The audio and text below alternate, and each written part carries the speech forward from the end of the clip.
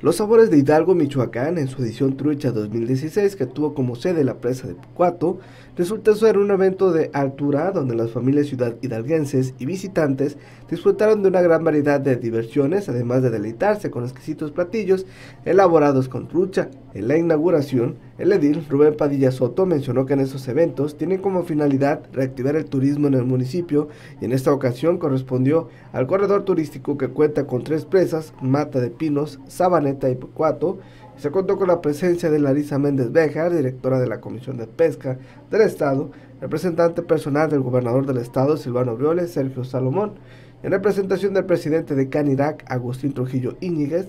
senador Antonio Norberto Martínez, diputado federal, además de funcionarios estatales y municipales que se dieron cita en este acontecimiento.